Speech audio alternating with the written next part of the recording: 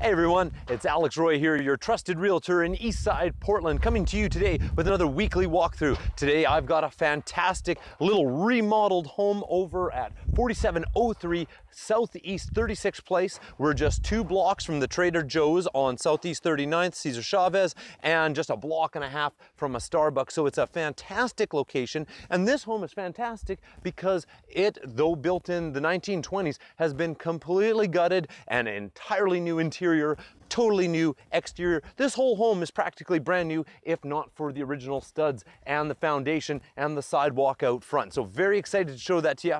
But before we get going on that, you're probably wondering, why is he wearing that crazy balloon animal hat? Well, hey, that's to make you aware that this Sunday, June 10th, I'm gonna be down at the Woodstock Farmers Market there, helping out with some fellow John L. Scott agents, making free balloon animals for all the kids. So if you've got kids, stop on by the Woodstock Farmers Market on 46 and Woodstock and grab your free balloon and say hi.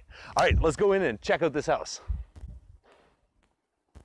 So right away, as soon as you come in, you can see everything's been redone. We still have some of the original uh, framing work of the original 1920s home, but otherwise you've got new windows, you've got new manufactured hardwood floors that feel great under the feet, you have brand new paint. Pretty decent sized living room, feels really comfortable, and I like how the door is offset in the living room and not right in the very front of it, so you have a portion of it that is away from that front door facing right out onto the street. Personal uh, preferred thing for me. Let's go check out the upstairs and the bedrooms. It has three bedrooms. Two of them are on the main. They're pretty much identical mirror images to each other. Once again, new windows, but with the original frames, the manufactured hardwood floor, and decent closet space on both of them. You're getting the same thing on the room across the hall. The third room is upstairs here which is carpeted and gives a little bit different acoustic sound than those uh, hardwood floors do. Certainly got space in here for, at the very least, a uh, double bed and then additional uh, closet storage space back here. But this could also make a fantastic office or crafts room. And I love the original 1920s quirkiness of how the upstairs is laid out. This room certainly gets wonderful light all day as this southerly facing window is going to be catching that light streaming in here.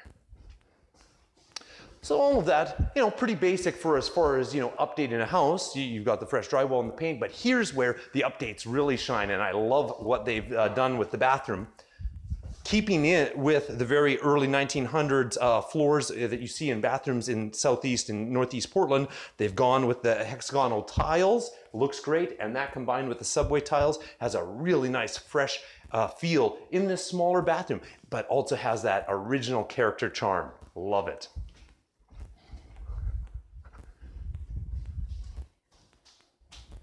Coming into the kitchen, also clearly fully remodeled with stainless steel appliances.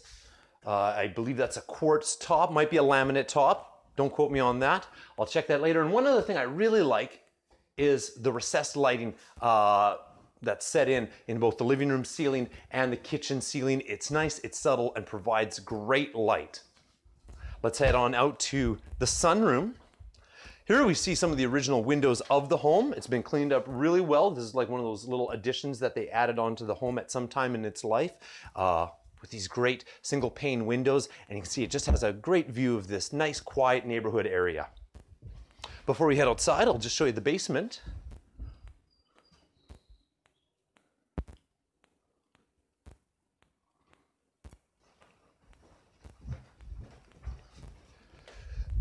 The basement is partially finished to a, a very good functional state. You got concrete floor still, but finished off drywall and a designated spot for your washer and dryer and an, certainly enough room for folding tables or extra uh, storage shelving or closets.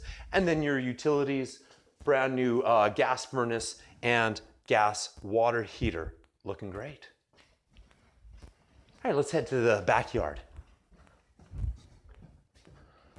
So the house is three bedrooms, one bathroom, little over 1,500 square feet, and sits on a pretty good sized lot. Clearly, used to be a building right here. You've got the whole foundation of what I'm just gonna safely assume was a garage with the driveway leading out to the side of the house. But what you're left with is a pretty fantastic patio that You've got the potential to build on. That's for the buyers to do their own due diligence and find out about permitting with the city. But there is a foundation there that may be usable. If anything, you could do a lot of great parking on this off-street parking for boat, extra truck, toys like that, and at the very least have a canopy over top of it. And while we're out here, another great opportunity to look up at the roof and see the great job with the new roof and siding on this wonderful home. So as always, guys, don't forget my name's Alex Roy, your trusted realtor in Eastside Portland. This is a weekly walkthrough, and if you like these videos, I definitely encourage you to subscribe to my YouTube channel or like my Facebook page so that you're getting updates on me on these. And if you ever want to see any of these homes, give me a call anytime and I'll get you in for a tour. Super easy, and I love to meet with you guys and show you these homes. I'm Alex Roy, working hard for your success.